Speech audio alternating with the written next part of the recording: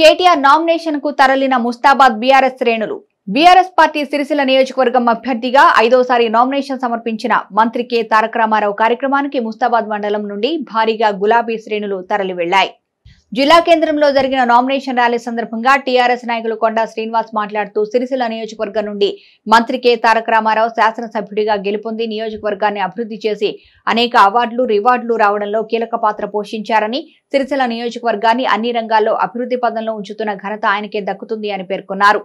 ఈ కార్యక్రమంలో నేతలు కొండా శ్రీనివాస్ శీలం స్వామి కుక్కల దేవేందర్ దేవయ్య జహంగీర్ అబ్రవేణి సాయిలు కంచెం నరసింహులు కార్యకర్తలు ఉన్నారు. బాధ్యత గలటువంటి అందరూ కేసీఆర్ గారు చేస్తున్నటువంటి సంక్షేమ ఫలాలను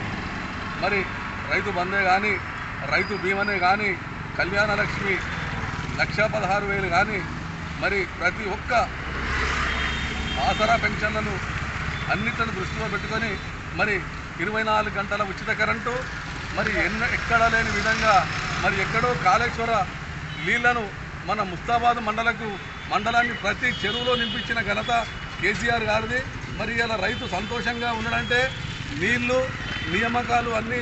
సక్రమంగా ఉంటేనే రైతు కూడా అన్ని రకాల బలోపేతమై ఇలా తెలంగాణ రాష్ట్రాన్ని బంగారు తెలంగాణగా చేసే దిశగా కేసీఆర్ గారు చేస్తున్నటువంటి కృషికి ఇలా ప్రతి ఒక్కరూ బాధ్యతగా వ్యవహరించాలనే ఉద్దేశంతో స్వచ్ఛందంగా ఇలా కేటీఆర్ గారికి మద్దతుగా భారీగా ముస్తాబాద్ మండలం నుంచి తరలి వెళ్ళి మరి ఐదవసారి హైట్రిక్గా కేటీఆర్ గారిని లక్ష పైచీలకు మెజార్టీతో గెలిపించాలనే ఉద్దేశంతో ప్రతి ఒక్కరు ఉన్నారు. ఎందుకంటే రాబోయే రోజుల్లో కూడా ఐటీ రంగాన్ని కానీ ఇలా హైదరాబాద్ను మనం గతంలో పది సంవత్సరాల కింద చూసినట్టయితే ఇలా హైదరాబాద్ పోతే మనం అమెరికా పోయినట్టు అనిపిస్తుంది. మనం ఒక నెల రెండేళ్ళ తర్వాత మనం కొంచెం లేట్గా పోయినంత మాత్రాన కూడా మనం ఏదో వేరే దేశంలో ఉన్నంత తృప్తి కలుగుతుంది కాబట్టి అంతటి ఘనత. అది కేటీఆర్ గారికి ఉన్నటువంటి కేసు